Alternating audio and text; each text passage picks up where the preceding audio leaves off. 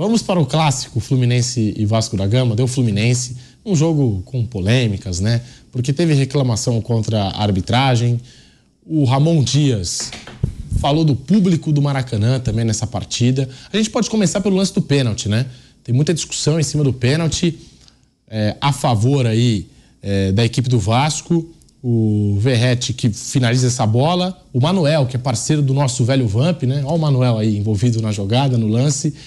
É, tem muita gente na bronca, o Vasco reclama né, desse pênalti aí do, do Verrete, né? Enfim, a, a, finalização dele, o Manuel tá ali na área, é, o Vasco reclamando bastante. Mauro César Pereira, o Verrete depois, no intervalo, né?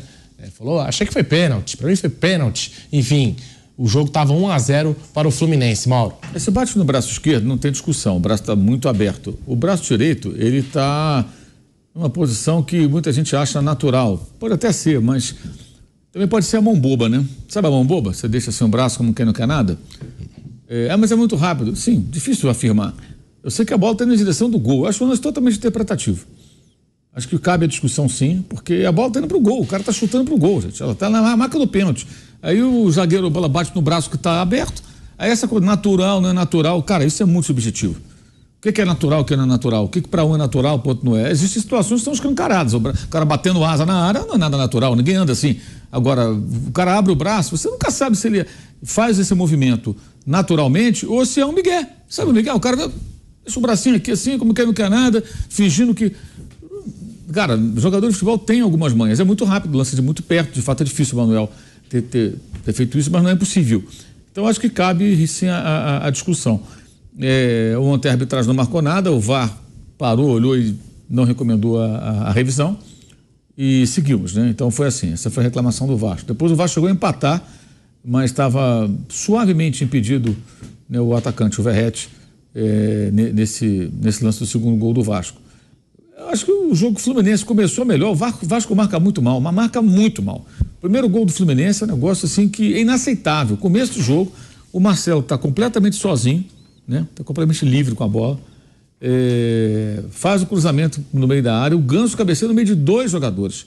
Nem sai do chão. O Ganso, como se fosse centroavante. Tchum, cabeceia, faz o gol. É impressionante, assim, como a passividade do time do Vasco. E o segundo gol do, do Martinelli, a bola bate, rebate, volta, ninguém consegue afastar o perigo. Ela fica com o Fluminense e continua. Enfim, é, dessa maneira vai ser difícil o Vasco é, não sofrer muito no campeonato. Olha o gol do, do Começo de jogo, gente. Mal, mal começou o jogo. É. O Marcelo recebe a bola, ninguém diminui o espaço, ninguém marca, ninguém cerca. Porra, isso é uma coisa óbvia, né? O Marcelo é um jogador que tem muito recurso. A bola caiu no pé do Marcelo, primeira coisa, tem que ter alguém ali marcando, tem que ter alguém perto dele. Não pode receber a bola quando ele recebe, olha, é começo do jogo. E o Ganso sozinho, cabeceando dentro da área. Ah, estavam preocupados com o cano. Ah, desculpa, tem que se preocupar com o cano e com o Ganso, com todo mundo que está na área, não é só com o cano. Pelo amor de Deus. E o cano, assim, não é que o cano arrastou a marcação, não, ele estava posicionando um pouco para cá e o Ganso no centro. Então você tem que ter alguém tem que disputar a bola com ele, nem, nem chegaram perto. Então o Vasco comete muitos erros. É, agora, foi um jogo razoável. É, o Fluminense acho que foi melhor. O Vasco conseguiu reagir durante o jogo. Acho que peca pelos seus erros também. O lance da arbitragem é um lance polêmico. O Fluminense não vencia um clássico há 13 partidas, 13 clássicos sem vencer, voltou a ganhar. E o Vasco tem agora duas derrotas e uma vitória no campeonato. Ganhou do Grêmio, perdeu para o Bragantino, perdeu para o Fluminense. O público foi ridículo. O público de 23 mil, 123 pagantes, pouco mais de 25 mil presentes. É, o jogo do Fluminense com o Bragantino teve 17 mil e poucos torcedores. Teve um prejuízo de 313 mil. 313 mil de prejuízo teve o Fluminense. Só as despesas do Maracanã, 800 e tantos mil, foram maiores do que a renda, de 800 e poucos mil. Só as despesas. Fora todos os outros custos do estádio. Ou seja, 313 mil. O de ontem deve ter dado mais um prejuízo também, 100, 200, não sei quanto ainda, porque não vinha do borderô. Deve estar saindo, vou até olhar daqui a pouco se já saiu. Então, se o Fluminense jogar no Maracanã, o, Maracanã, na maioria dos jogos do Fluminense, ele é muito grande. E para qualquer time, inclusive o Flamengo, que tem mais torcida e coloca mais gente no estádio em média, é muito caro. Maracanã é um problema, é muito caro. Você vê só a despesa do estádio, 800 e poucos mil, mais uma série de custos, um milhão e tanto para você jogar ali, gente. Muito complicado. Aí você tem um público pequeno, por quê? O Fluminense e o Vasco chegaram a discutir a realização do jogo com meio a meio, 50% para cada torcida. Só que o Vasco, ele queria o seguinte: eu quero jogar no Maracanã com você no turno e o retorno. Mas quando eu for o mandante, eu vou ficar do lado direito. Por que isso? Porque desde 1950, quando o Maracanã verdadeiro foi inaugurado, esse aí é o falso Maracanã, o Maracanã, New Maracanã, não é o de verdade, tá? É, o Vasco sempre tinha sua torcida colocada do lado direito, à sua direita. O Fluminense ficava à esquerda, e o Flamengo ficava à esquerda, o Botafogo à direita, o América à direita. Quando tinha a Fla-Flu, a torcida do Fluminense mudava para o outro lado. Quando tinha Botafogo e Vasco, a torcida do Botafogo mudava de lado. Os que nunca mudavam de lado eram Vasco e Flamengo. Vasco à direita, Flamengo à esquerda. Sempre foi assim. Quando houve Maracanã e quando Fluminense e Flamengo viraram ali os, os, os times que fazem a gestão do estádio e tal, o Fluminense escolheu ficar à direita para quê? Para diferenciar do Flamengo partindo do princípio que o Vasco joga em São Januário, prioritariamente, e o Botafogo no Newton Santos, o Engenhão. Para personalizar aquele setor, o, o torcedor acostumar a chegar no estádio caminhar naquela direção, aquela coisa toda. Normal. O Fluminense rompeu até com uma tradição dele de ficar mais à esquerda para ficar do outro lado, que é o lado sul. O Flamengo fica no lado norte do estádio. Muito bem. O Vasco, até hoje, mesmo sendo SAF, se agarra a essa tradição e briga pelo lado direito. É, para muitos torcedores do Vasco, isso é importante, que é uma maneira de medir força com o Fluminense. Ok. Só que o Maracanã, gente, não existe mais. Esse é um outro estádio. Essa tradição, acho que ela morre junto com, com o estupro do Maracanã, que foi estuprado, foi violentado. Destruíram ele todo, deixaram uma casca e fizeram o estádio da FIFA, que não tem nada a ver com, conosco aqui no Brasil. Não é estádio para o torcedor brasileiro, é para um evento da FIFA, né? que foi a Copa do Mundo. E aí, por conta dessa falta de acordo, o Fluminense não aceitava mudar de lado. E o Vasco não aceita, se ele não puder ficar à direita quando ele for o mandante, ontem o mando foi do Fluminense, foi 90 a 10 o, o, o, o jogo. Aí ficou ali 4 mil e poucos torcedores do Vasco e 20 mil, 21 mil torcedores do Fluminense. Se você tem meia meio ontem, contando que foram aí 20 e poucos mil torcedores do Fluminense, o Vasco não levaria menos que, na minha opinião, menos do que isso. Acho que o Vasco levaria umas 30 mil pessoas fácil esse jogo. Teríamos um jogo de 50 e poucas mil pessoas no Maracanã, com duas torcidas grandes. Ou seja, não daria prejuízo para Fluminense, porque a renda seria maior. No jogo de volta, algo parecido provavelmente aconteceria. O Vasco também não ficaria no prejuízo, né? ficaria no lucro. E todos felizes. Mas não, os caras ficam brigando e o Vasco é SAF, é uma empresa que manda no futebol do Vasco. Mas a preocupação política em ficar dando satisfação, não, cara, alguém tem que ter coragem e falar assim: olha, eu respeito a tradição, eu respeito as tradições de futebol. Mas se eu fosse o dirigente da SAF do Vasco, eu falo, olha, eu respeito isso, então, mas é o seguinte, gente, eu preciso de dinheiro. Sim. O VAR precisa. A mesma coisa que eu falei do Corinthians agora. Eu preciso, eu não posso fazer um jogo no Maracanã para dar prejuízo pro Fluminense e depois eu jogo para dar prejuízo para mim. Ah, mas a torcida do Vasco vai botar 60 mil. Depende. Se tiver motivadíssimo, bota 60 mil que a capacidade real do Maracanã, com carteiras cativas, interdição de setores para separar a torcida, é 60 e poucos mil ingressos. O número 78 mil é fictício, na prática ele não funciona, né? por conta disso e de outras questões. Gratuidades, etc. É, você não sabe, você não sabe como é que vai ser no segundo turno esse confronto. Se o Vasco tiver um momento de motivação do seu torcedor, ele lota o estádio, sem, sem dúvida alguma. Então, assim, foi um prejuízo financeiro. O estádio é grande demais para a maioria dos jogos do Fluminense. É um estádio caro demais para o Flamengo, o Fluminense então nem se fala. Fluminense teve uma média no passado no brasileiro que foi a décima do campeonato, abaixo de 40 mil, 38, uma coisa assim. E o Flamengo teve uma média de quase 60 mil, 57, 58 mil. O Maracanã é muito deficitário e um jogo como esse é ridículo. O Ramon Dias depois fez até uma ironia, falou que parecia jogo na pandemia, porque tinha pouca gente. Foi uma maneira de, provocar a torcida do Fluminense também, que eu não sei porque que não vai. Fluminense é campeão da Libertadores, sábado, quatro da tarde, um dia de sol, um dia agradável do Rio de Janeiro, né? O jogo com o Vasco. Você tem o estádio todo à disposição e vão 20 mil pessoas. Contra o Bragantino foram 17. Ah, era sábado à noite. Parece que todo torcedor passa o sábado à noite na balada, né? É que nem a história da praia, sabe? Ah, não, o pessoal estava na praia. Rio de Janeiro, a cidade tem lá 10 milhões de habitantes. Né? Aí você fala, ah, não, na praia, você, o domingo que a praia lota, quando sai aquela foto, saía no passado, hoje menos, né? Aquela foto clássica do jornal, a praia parece um formigueiro, aquele povo todo na areia. Geralmente era assim, um milhão de pessoas nas praias do Rio. Ou seja, 10% mais ou menos da população, a maioria não vai à praia. A maioria não vai porque não dá para ir à praia. O cara mora longe, ele monta uma piscina de borracha, se tiver uma piscina de, de verdade, ele vai para a piscina. Se ele for sócio de um clube, ele vai para o clube. Senão ele pega uma mangueira, fica se refrescando, tomando uma cerveja ali, fazendo um churrasquinho. Cada um dá o seu jeito para enfrentar o calor no verão, no Rio de Janeiro. Mas não é verdade que todo mundo vai à praia. Isso é mentira, isso é lenda, nunca foi assim. Ainda mais um dia agora, que nem no verão estamos mais.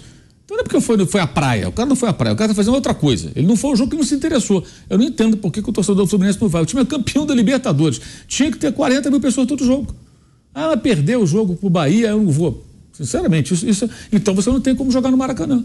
O Maracanã é muito caro para qualquer clube, repito, qualquer clube brasileiro. E é muito grande para o Fluminense. Se a sua torcida, que é numerosa, não comparece em grande número. E ontem foi vergonhoso. Vergonhoso. E essa, essa briga dos dois, isso não é profissional, gente. Se é, é mais ou menos o seguinte: eu tenho 30 mil vascaínos que querem ver o jogo, mas só vou vender 4 mil ingressos. Eu tenho um restaurante, eu tenho 50 mesas, só vou vender 5 mesas. Porque hum, as outras 45 vou deixar fechar. Por que, que eu vou vender? Vou encher, vou encher meu restaurante? Eu, não, não quero, eu quero umas 5 mesas aqui, olha lá. O pessoal enche o saco, não, é melhor assim. Pô, mas tem gente lá fora querendo Sim. entrar. Não, não, não. Vou deixar 45 mesas vazias e 5 ocupadas. É isso. Você tinha ali um número para 40 mil vascaínos, 30 mil vascaínos, botou 4 mil. E tinha gente querendo. Claro que tinha. O do Vasco tem ido ao Maracanã. Como o Vasco não joga sempre no Maracanã, o, o estádio vira um apelo para o torcedor do Vasco, porque São Januário é menor e é mais difícil de chegar. O Maracanã é muito bem localizado, você chega de metrô, chega de trem, de ônibus, é mais fácil estacionar. Então, muita gente que torce pelo Vasco, quando o Vasco joga no Maracanã, o cara, pô, esse jogo eu vou. Como era o Morumbi antigamente, que não tinha metrô, se o São Paulo jogasse no Pacaembu, muita gente que não ia para o Morumbi pela dificuldade de chegar ao Morumbi, no Pacaembu iria, porque já tinha metrô e é mais central. Mais ou menos isso, para quem é de São Paulo. Que o Morumbi mudou com a chegada do metrô. Hoje você anda 20 minutinhos ali mais ou menos, né? Você chega no estádio. Antigamente não. Então você saía de lá, um jogo de 9h45, era nesse horário, quase meia-noite, para voltar para casa, o cara que não tinha carro, pegar um ônibus é um pandemônio. E o metrô meia hora, meia-noite parava. Então muita gente não ia porque, ah, não consigo voltar para casa. Chegou duas e meia da manhã, como é que eu vou trabalhar amanhã? O cara não ia ao Morumbi. Hoje isso melhorou. Mas quando o São Paulo vinha para o Pacaembu, o ah, Pacaembu, vou, Pacaembu me garanto, porque eu chego mais rápido em casa. Mais ou menos isso. Então, te, o Vasco no Maracanã sempre tem apelo. Isso não é profissional, gente. Aí fica o Mário Bittencourt de um lado brigando, a SAF do Vasco do outro, e os caras abrem mão de público. O Ramon Dias falou, o argentino, né, falou, parecia jogo na pandemia depois de uma declaração infeliz no começo da semana, nessa ele mandou bem, que é uma ironia boa para os dirigentes do Vasco também, não só do, do Fluminense, não. Vale para os dois.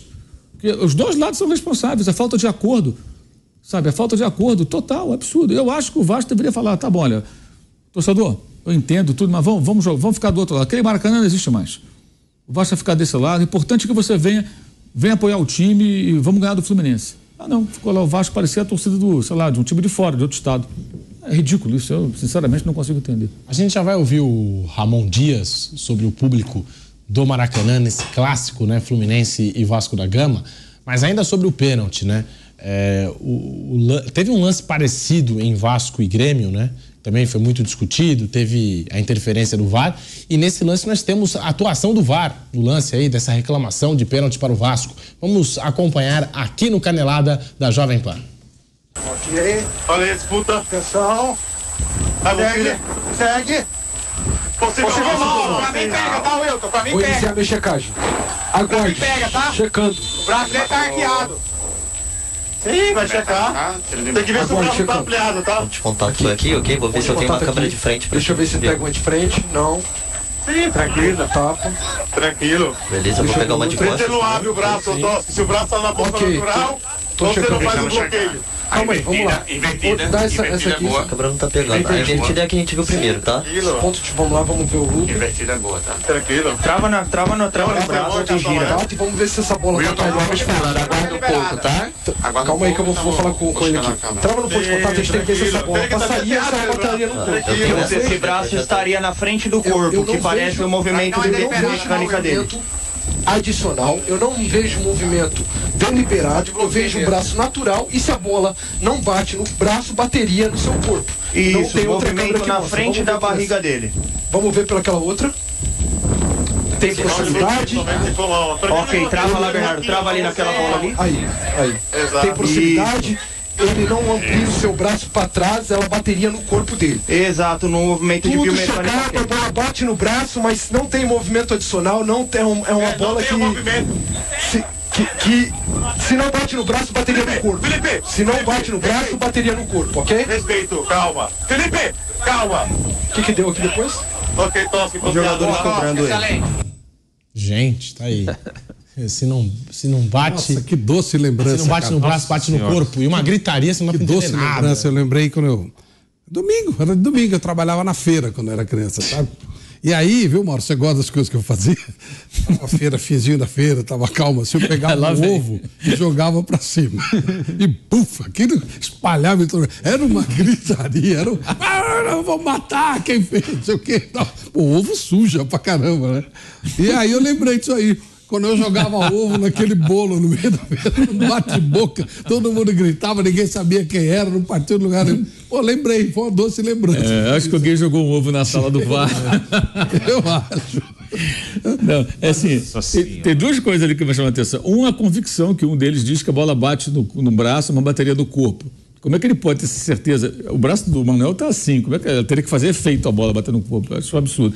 A outra é essa falação, tem momentos ali que a gente não consegue identificar nenhuma das palavras que eles estão dizendo. Tamanha confusão. É, como é que uma decisão capital num jogo de futebol, de um campeonato profissional, é tomada no meio desse caos? E o árbitro está ainda ouvindo jogadores em reclamando dos dois times e a torcida fazendo bochicho. Sim. Quer dizer, como é que o camarada toma a decisão? É, é eu acho que o árbitro deveria chegar e falar assim: falar um palavrão, falar assim, calem a porra da boca, fala um de cada vez, porque eu não estou entendendo claro. nada. Claro. Porque assim, vai ter um dia que vai ter isso. Porra, não entendo. Não ajuda, gente, atrapalha isso aí. O que vale é a conclusão final. E para que esse frenesi todo?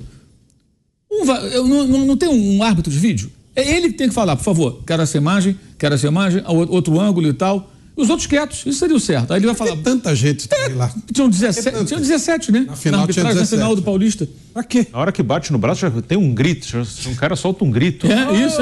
É. Vamos entrar em ação, mas é, é isso. Legal, legal. Opa, vamos justificar a grana. É, é, vamos entrar em ação. Olha, Usa. o, Mauro falou interpretativo, eu não daria para mim, é um, um, movimento normal, né? Ele, ele, a bola vem, bate, está muito perto, eu não daria. Se alguém desse, não seria um absurdo. No jogo Chelsea e, e City teve um lance muito parecido com esse, vai. E não teve nem, não teve nada disso aí, tal. Rapidinho seguido e pronto. É, para mim, houve intenção ou não, eu. Que é o, o, a síntese da brincadeira é a seguinte: houve intenção ou não? E não houve, no meu entender. Então, para mim, acertou tranquilo. Não, mas não precisava essa zona toda, claro que não. Mas foi legal porque eu lembrei da minha, da minha infância. Bruno Prado, você teria marcado esse pênalti? Não, acho que o Manuel não, não faz assim claramente um movimento assim de para tentar bloquear a bola, para tentar cortar. Então acho que foi mais sem querer ali a bola bate no braço dele. Eu não daria também não. Mas realmente é, nossa senhora, é um caos, né? é, um, é um caos. Essa, o, parece que assim, é meio na sorte, né? Não, não é possível que eu consiga raciocinar muito no meio dessa bagunça, meio na sorte. Ah, o que, que foi? Ah, foi, não foi. É meio tanto faz o que vai acontecer. Mas eu acho que eu não marcaria, não. Acho que tá. É, tá acho que a decisão, ok. Segue o jogo. Um detalhe que eu acho que é importante é, é assim, eu acho que o lance é um lance que cabe à interpretação sem dúvida alguma. É, mas o árbitro quando ele ele faz o que fez o Wilton ontem, ele está confiando na equipe do VAR, né? Tanto que ele não foi ver o vídeo. Se o Wilton vê, ele certamente já viu essa altura, essa imagem, ele também acha, ele vai achar também que a bola bateria no corpo caso não batesse no braço, porque, cara, o, o, o, o Manuel está de frente, o braço está aberto, a bola bate aqui, perto do cotovelo, aqui no antebraço. Ah, como é que é bater no corpo? Ora, ela é... indo pro gol, ela não está indo pro corpo. Mauro, agora é importante frisar que isso é irrelevante para a regra, tá? Se a bola batesse no braço e bater no corpo, não, não importa. A regra não diz se você. Não, não existe, não sei por que ele falou isso. É, se a bola que... não batesse no braço, bater no corpo. Eu acho que ele quer dizer o seguinte: se o jogador não tivesse braço, bateria no corpo e a bola ricochetearia do mesmo jeito. O acontece é que a bola não bateria no corpo, pelo menos não é o que parece. Tá vendo? O braço está aberto, ou seja, o árbitro confia numa avaliação que no mínimo é discutível. É, porque prefeito de regra não quer então, dizer assim, nada. Eu, eu, nada, se, se, eu fosse árbitro depois do negócio desse aí, eu falo, todo, não, não, não quero, não falem nada, calem a boca, eu vou olhar o vídeo. Eu vou lá olhar, porque eu não posso confiar. Porque como é que ele pode, não dá para você ter certeza que é bater no corpo, a imagem não dá essa, essa convicção, lá o braço está aberto. Ela poderia talvez até resvalar aqui na altura aqui da, do, do, das costelas do Manuel, sei lá, tomar uma direção, até trair o goleiro, entrar em função. De... A gente não sabe o que ia acontecer. Então, quando, ele, quando uma das vozes ali, não sei quem é o campeoníssimo ali, é, afirma que bateria no corpo, esse, é, eu não confiaria no VAR se eu fosse o árbitro de campo. Talvez fosse uma boa mala possível, eu olhar toda hora no ver, mas eu preferia olhar do que confiar nos caras. É, eu, eu, eu acho que eu teria marcado, porque eu acho que o braço não está totalmente colado ao corpo, hein? E eu acho que essa bola passaria. Eu acho, minha interpretação aqui, tá? Sobre pena. Interpretações, não tem Eu, tá eu teria certo. marcado, eu acho. É, a questão é assim, ela passa como, né? A gente não sabe. É. Eu falei, vamos imaginar que a bola passa e ela desvia aqui, no, aqui na, na altura da costela aqui do Manuel. Ela pode tomar outro rumo e trair o goleiro. Poderia ser um gol. Sim. Poderia ser um, então o lance é um lance importante. Aí é definido, o lance importantíssimo é definido nessa confusão. Meu Deus. Nessa confusão. O Flávio falou de feira, nem a feira livre falatório. Ó, freguesa, não sei o quê, ó, abacate, ó, abacaxi, Se olha o eu ovo. ovo lá, não Né? quer saber se eu jogo um Pô. ovo nesse meio, pô. Pelo Vamos ver amor se de me Deus. autoriza jogar um ovo no, no meio do Na sala do VAR. Pra ver o que Que acontece. horror, cara. Pô. E aí, às vezes começa um debate também entre o árbitro e quem tá na cabine do VAR, enfim. Ou às vezes o árbitro sem a imagem, só de ter visto o lance, começa a debater e, o que, e quem tem a imagem fala: não, mas aqui na imagem parece que bateu, parece que não, parece que pegou no braço, o braço tá aberto. Eu Mas acho o, vi- o grito é legal, o grito. É. Eu, eu acho que com, com o VAR, e agora que ele vai para a torcida, eles deviam cobrar uma taxa de circo. Tipo assim, um coverzinho e tal. Porque é um circão, né? É engraçado pra caramba. Podia pôr um cara cantando no fundo.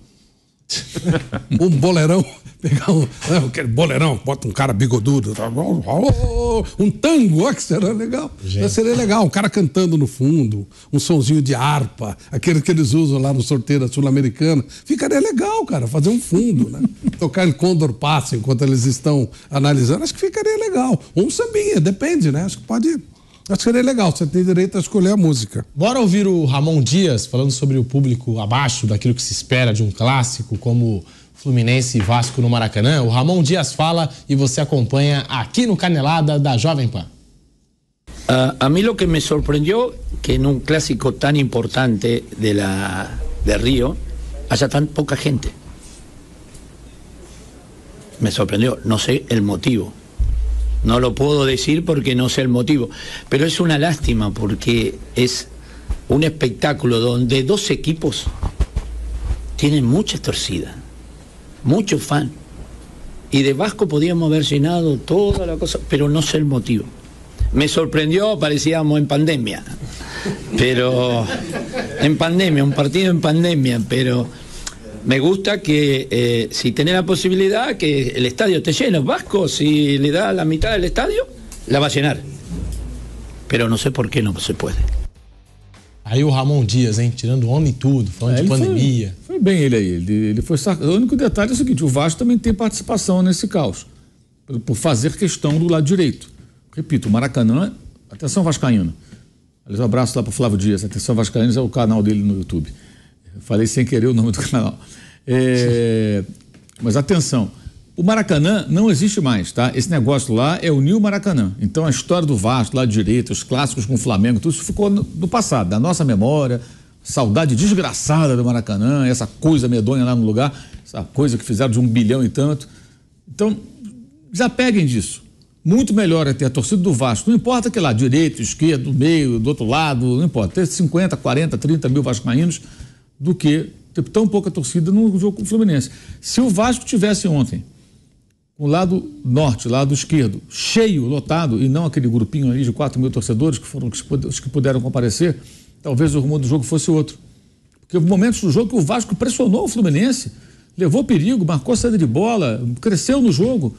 E com apoio de 30 mil vozes ali, certamente seria um outro cenário, cara. É- é- muda, muda a perspectiva do jogo.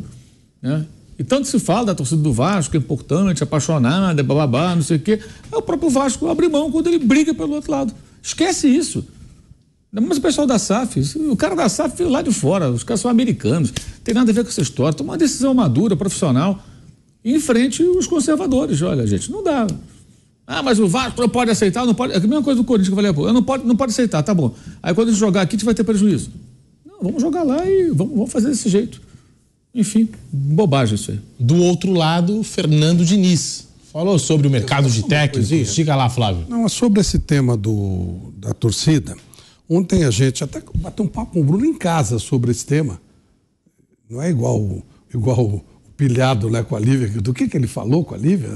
Ah, é, eles estavam falando sobre o São Paulo, né? Não, era um negócio Era assim. Bola parada. Bola parada do São Bola Paulo. parada. imagina Ele estava deitado com a Lívia e tal, conversando. Falando de bola parada. É, mas, mas não é o caso. Mas hoje eu estava batendo papo com o Bruno. Vocês não acham que aquela empolgação pós-pandemia que encheu os estados, ela baixou esse ano. Eu estou começando a perceber. Isso o Mauro pontuou bem a história do Maracanã, é uma coisa muito específica e tal. Mas, de um modo geral, por exemplo, a torcida de São Paulo já está num número muito menor. O Palmeiras tem a história de Barueri, ok, mas eu já vi Barueri lotado. Será que não, não aconteceu alguma coisa que baixou, deu uma diminuída? De um modo geral, estou muito curioso para ver o, o, levantamento geral do, do, dos públicos no, no, no, Campeonato Brasileiro. Eu acho que está baixando a média novamente. É, tem a ver com o valor do ingresso, né? Que é muito caro. Mas, mas já, já é, era, né? Esse valor. Isso é um fator, claro que é também. Traçando um paralelo com a seleção brasileira, por exemplo. Seleção tá mal, aí ninguém torce. Seleção tá bem, aí todo mundo passa a ser torcedor do Brasil, né? Tem todo mundo tá mal? O campeonato começou agora, é. poxa. Não sei, eu acho que é uma coisa para a gente parar para pensar. Eu tenho a impressão que a média de público está caindo novamente. Ela era baixa, subiu, tivemos dois anos aí, pós-pandemia, que realmente os estados estavam lotados e agora nós estamos vendo cenários assim já com uma certa constância, né? É, estados vazios e tal. Há situações pontuais, sim, concordo. Mas eu estou começando a ver, sentir que a coisa está. Parece que está diminuindo. Eu tenho impressão. Eu acho que é legal ficar atento, porque se o consumidor foi até o, até o, o, o público, né, até o local, se ele quis consumir o produto e ele está deixando de consumir, alguma coisa está errada. Nós precisamos ver o que aconteceu. E aí eu estou falando do produto futebol, não estou falando XY. Não. No modo geral, o produto futebol me parece menos consumido no local do, do, do, do jogo, do evento especificamente.